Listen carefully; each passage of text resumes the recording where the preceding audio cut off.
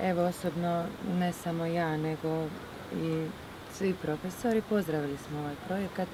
E, samu ideju, ideja je fenomenalna i sviđa nam se što je ispunjeno to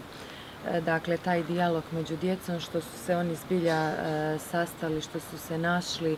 zbilja se družili i zbilja dali maksimalno koliko su oni mogli.